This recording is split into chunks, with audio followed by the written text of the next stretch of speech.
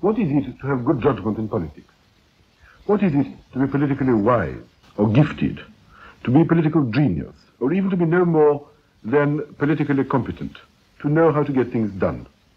Perhaps one way of looking for the answer is by considering what we're saying when we denounce statesmen or pity them for not possessing these qualities. We sometimes complain that they're blinded by prejudice or passion. But blinded to what? We say that statesmen don't understand the times they live in, or that they're resisting something called the logic of the facts, or that they're trying to put the clock back, or that history is against them, or that they're unpractical idealists, or visionaries, or utopians, or persons hypnotized by the dream of some fabulous past, or some unrealizable future.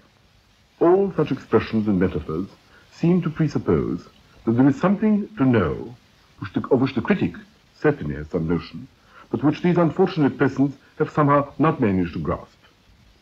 This something is presumably the logic of the facts, or the inexorable movement of some cosmic clock which no man can alter, or some pattern of things in time or in space or in some more mysterious medium, what is called the realm of the spirit sometimes, or ultimate reality, which one must first understand if one is to avoid total frustration. But what is this knowledge? Is it knowledge of a science? Are there really laws to be discovered, rules to be learnt? Can statesmen be taught something, something called political science, the science of the relationships of human beings to each other and to their environment, a science which consists, like other sciences, of systems of verified hypotheses organized under laws that enable one, by the use of further experiment and observation, to discover other facts and to verify new hypotheses? Is it that?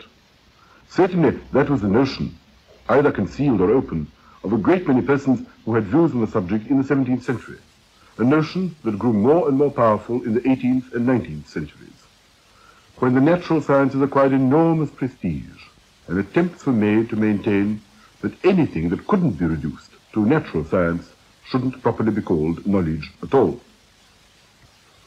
The more ambitious and extreme scientists, those who were, for the most part, scientific determinists, used to think that if we were given enough knowledge of the laws of social behavior, and enough knowledge of the state of given human beings at a given time, then one could scientifically calculate how these human beings, or at least large groups of them, say whole societies or classes, would behave under some other given set of circumstances.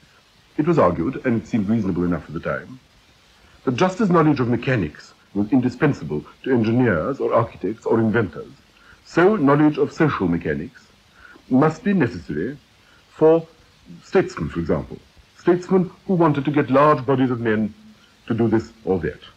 There were, of course, less ambitious thinkers who contented themselves by saying that the science of society is really rather more like anatomy. To be a good doctor, they maintained, it is necessary, but not sufficient, to know anatomical theory. One must also know how to apply it to specific cases, to particular patients suffering from particular forms of a particular disease. Now, this certainly can't be wholly learnt from books or professors.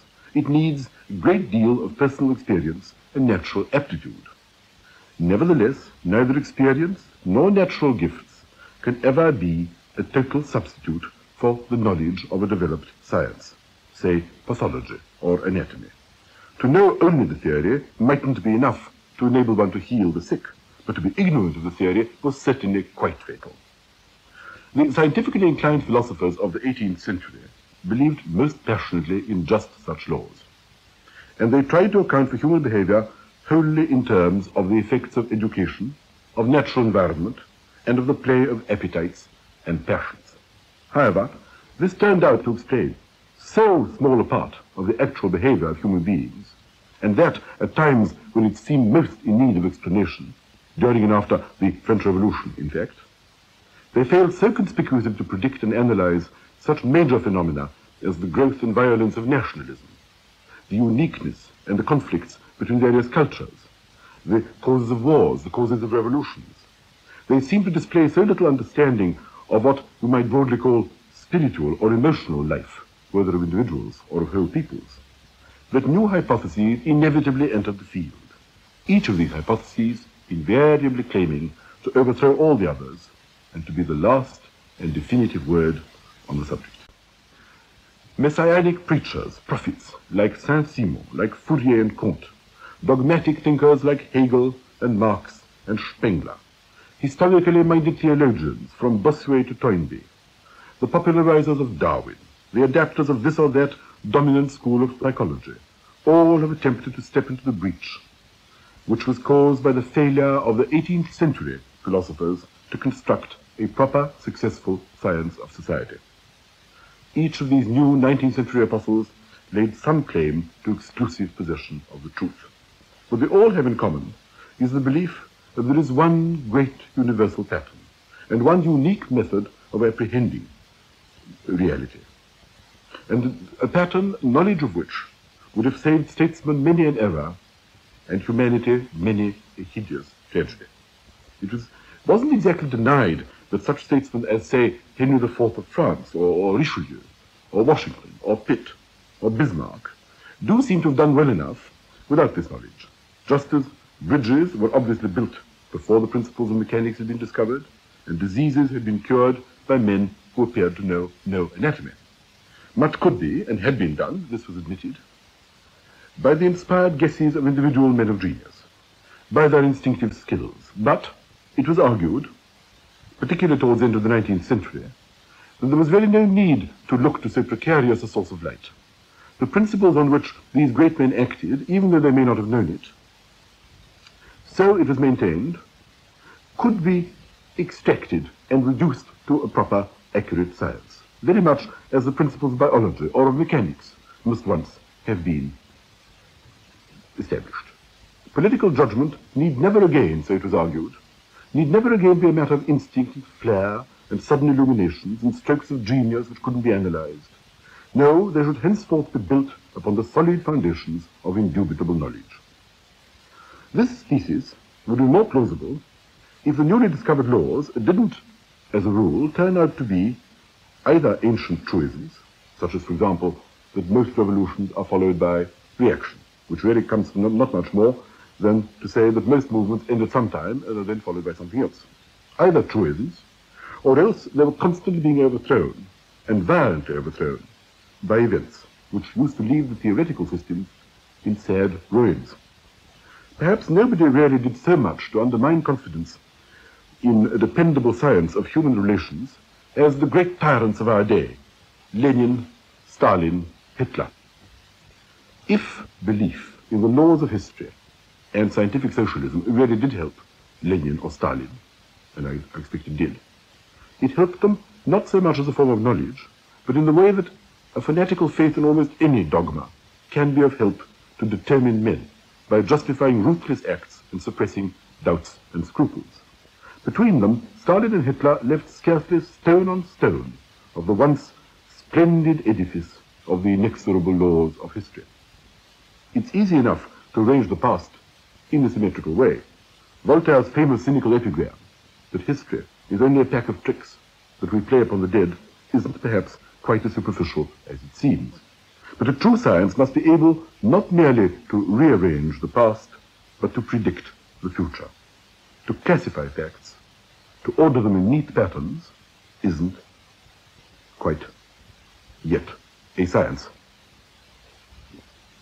We are told that the great earthquake that destroyed Lisbon in the mid-18th century shook Voltaire's faith in inevitable human progress.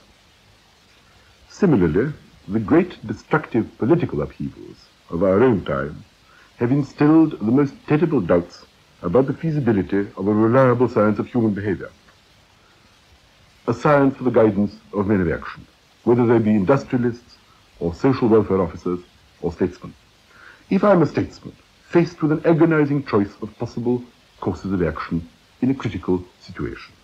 Will I really find it useful, even if I can afford to wait that long for the answer, to employ a specialist in political science to assemble for me, from past history, all kinds of cases analogous to my situation, from which the specialist must then abstract what all these situations had in common, deriving from it or applying to it special relevant laws of human behavior. The examples for such an induction would because human experience is extremely various, obviously not be frightfully numerous. And the dismissal from even these not very numerous instances of all that's unique to each, and the retention only of that which is common, would produce a very thin, generalized residue, and one much too unspecific to be of much help in a practical dilemma. But obviously what matters is this particular situation in its full uniqueness, the particular men and events and dangers, the particular hopes and fears which are actively at work in a particular place at a particular time. In Paris in 1791, in Petrograd in 1917, in Budapest in 1956. What makes statesmen, like drivers of cars, successful is they don't think in general terms. That is to say, they don't primarily ask themselves in what respect a given situation is like or is unlike a great many other situations in the long course of human history, which is what historical sociologists or theologians in historical clothing like Spengler or Toynbee are fond of doing. Their merit is that they grasp the unique combination of characteristics that constitute this particular situation at this particular moment, this and no other. What they are said to be able to do is to understand the character of a particular movement, of a particular individual, of a unique state of affairs, of a unique atmosphere, or some particular combination of economic, political, personal factors. And we don't readily suppose that this capacity can literally be taught. We speak of such things as exceptional sensitiveness to certain kinds of fact. We resort to metaphors. We speak of some people as possessing antennae, as it were, that communicate to them the specific contours and texture of a particular political or social situation. We speak of the possession of a good political eye, or nose, or ear, of a political sense which love or ambition or hate may bring into play, of a sense that crisis and danger sharpen or perhaps blunt. Something to which experience is crucial, a particular gift, possibly not altogether unlike that of artists or creative writers. We mean nothing occult or metaphysical. We don't mean a magic eye that is able to penetrate into something that ordinary minds can't apprehend. No, we mean something perfectly ordinary, empirical, quasi-aesthetic in the way that it works. The gift we mean entails above all a capacity for integrating a vast amalgam constantly changing, multicolored, evanescent, perpetually overlapping data, too many, too swift, too intermingled to be caught and pinned down and labeled like so many individual butterflies. To, to integrate, in this sense, is to see the data as elements in a single pattern, with their implications, to see them as symptoms of past and future possibilities, to see them pragmatically, that is to say, in terms of what you or others can or will do to them, or what they can or will do to others or to you. To seize a situation in this sense one needs to see to be given a kind of direct, almost sensuous contact with the relevant data. That which makes such writers as, say, Tolstoy or Proust convey a sense of direct acquaintance with the texture of life.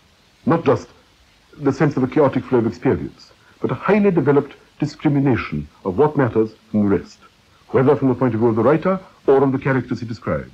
Above all, it's an acute sense of what fits with what. What springs from what? What leads to what? How things seem to vary to different observers. What the effect of such experience may be on them. What the result is of the interplay of human beings and of impersonal forces, geographical or biological or whatever they may be. What this interplay is likely to be in a concrete situation. It's a sense for what is qualitative rather than quantitative, for what is specific rather than general.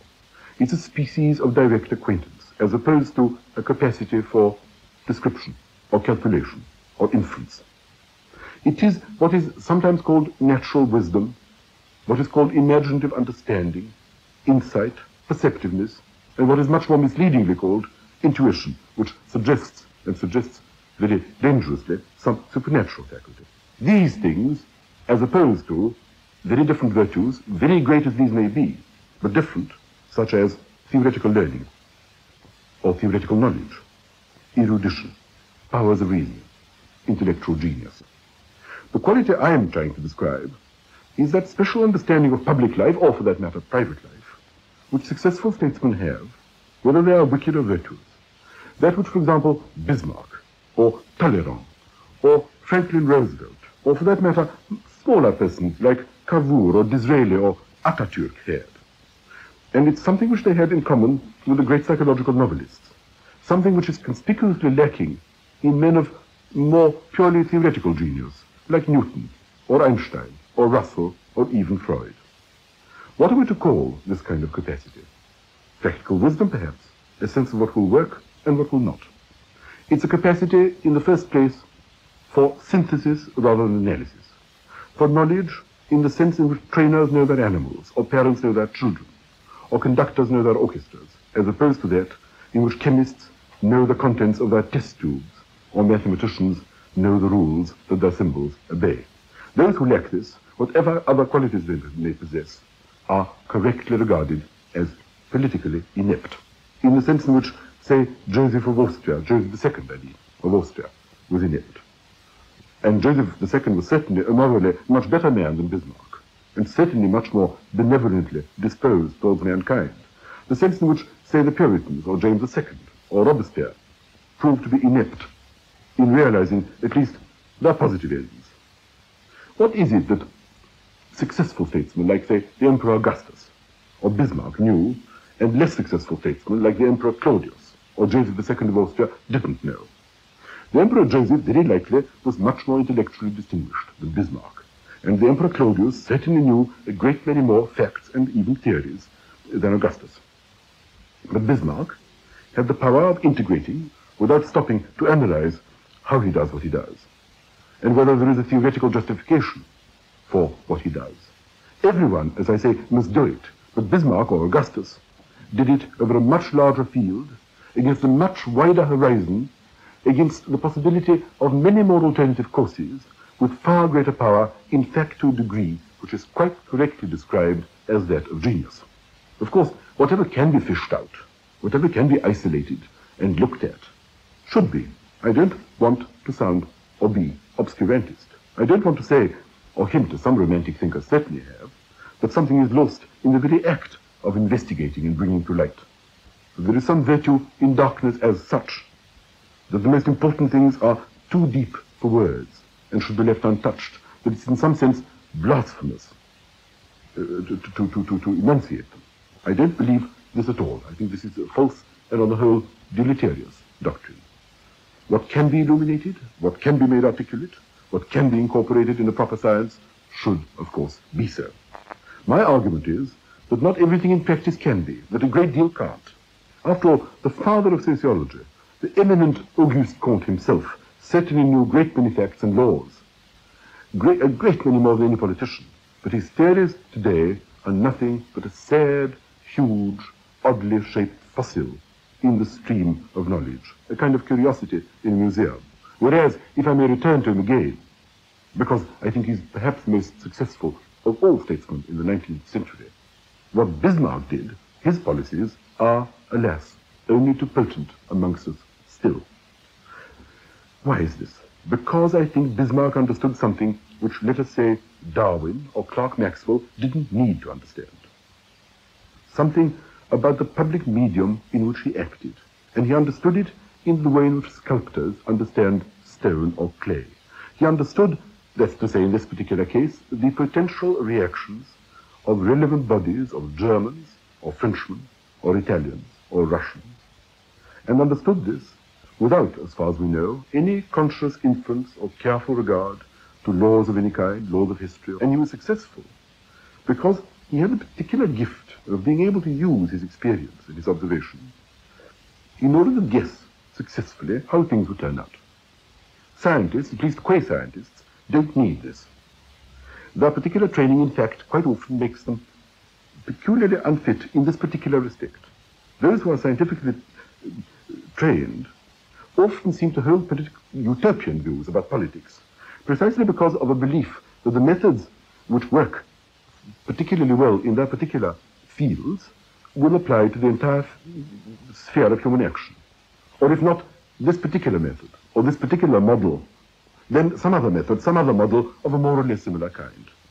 To deny that laboratories or scientific models have something of value for social organization is, of course, sheer obscurantism.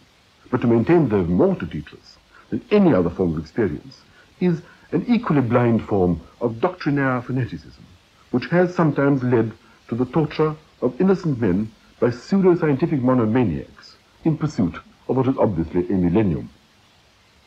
What are we to say about such people? When we say about the men of, say, 1789 in France or, or, or 1917 in Russia, that they're too doctrinaire, that they rely too much on theories, whether 18th century theories like Rousseau's or 19th century theories like uh, Marx's, we don't mean that these particular theories may have been defective, but that better ones could, of course, have been discovered. What we mean is the opposite, that theories as such are not really appropriate in such, in these situations. It's rather as if we were to look for a theory of tea tasting, for a science of architecture. The factors to be evaluated are, in these cases, too many. And it is on skill in integrating them in the sense which I've already spoken, that everything depends, whatever may be our creed or our purpose, whether we be utilitarians or uh, liberals or communists or mystical theocrats or whatever it may be. Science, theories, no doubt do sometimes help. But they cannot be even a partial substitute for a perceptual gift, for a capacity for taking in the total pattern of a human situation. A scientifically trained observer can, of course, always analyze this particular social abuse.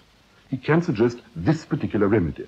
What he can't do so well as a scientist is to predict what general effects the application of a particular remedy or the elimination of a particular source of misery or injustice is going to have on other, and especially on remote parts of our total social system. We begin by trying to alter what we can see, but the tremors which our action begins sometimes run through the entire depth of our society, run to levels to which we pay no conscious attention, and these levels are stirred, and all kinds of unintended results are produced. It's knowledge of these lower depths, a semi-instinctive knowledge of them. Knowledge of the intricate connection between the upper cities and other remoter layers of social or individual life, which perhaps Burke was the first person to emphasize, although, of course, he turned this knowledge to exceedingly reactionary purposes. It's this kind of knowledge that seems an absolutely indispensable ingredient of good political judgment. We are quite right, I think, to be afraid of those bold reformers who are too obsessed by their vision to pay attention to the medium in which they work. People who ignore imponderables, John of Leyden, Puritans, Robespierre, Hitler, Stalin. Because there's a literal sense in which they know not what they do and don't care either. And where I think are quite right to trust equally bold empiricists, Henry IV of France, Cavour, Lincoln, Masaryk, Franklin Roosevelt. If we're on their side, I mean because we see that they understand their material rather better.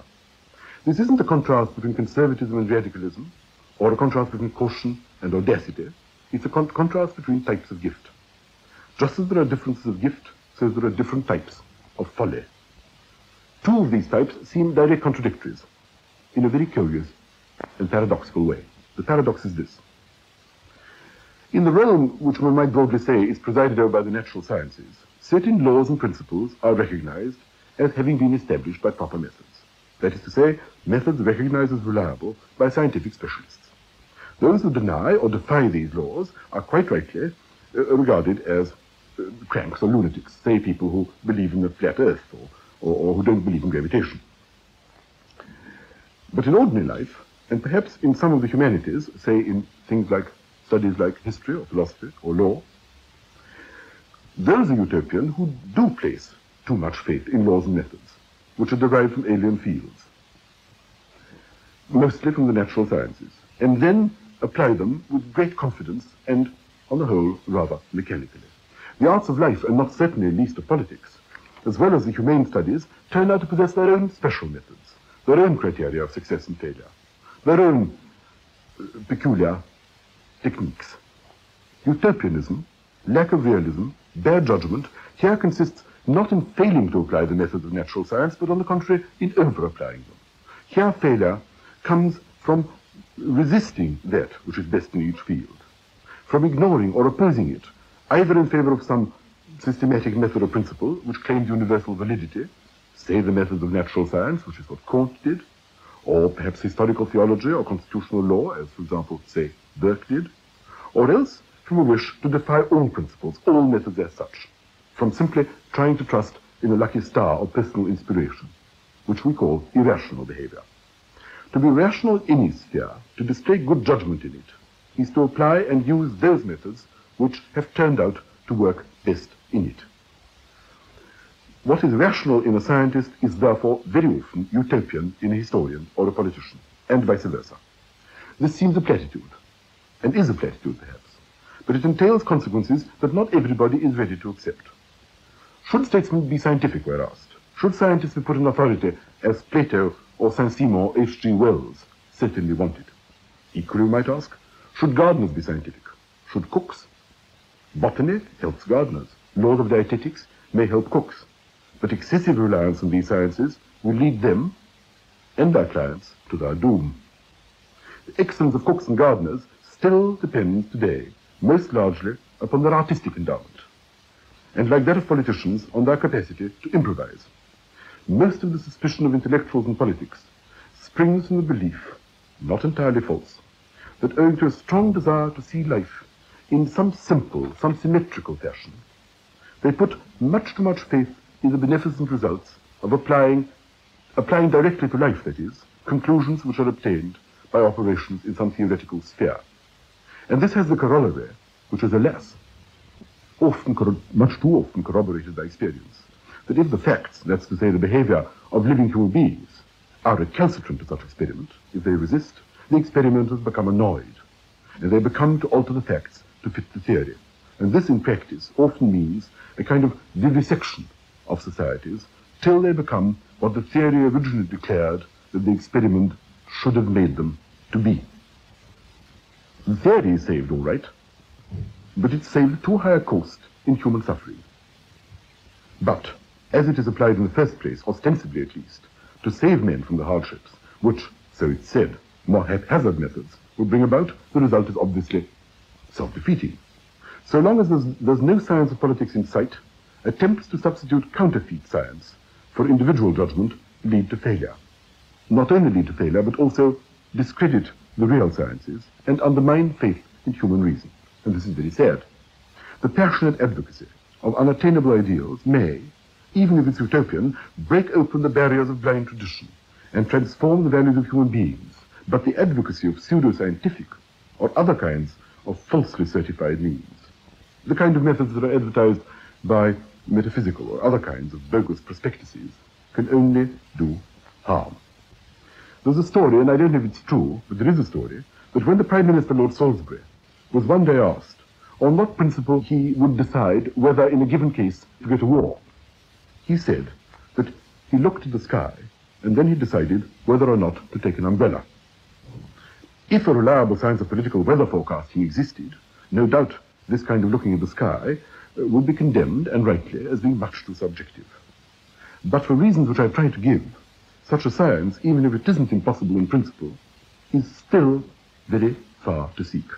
And to act as if it already existed, or was just round the corner, is an appalling and gratuitous handicap to all political movements, whatever their principles and whatever their purposes, from the most reactionary to the most violently revolutionary.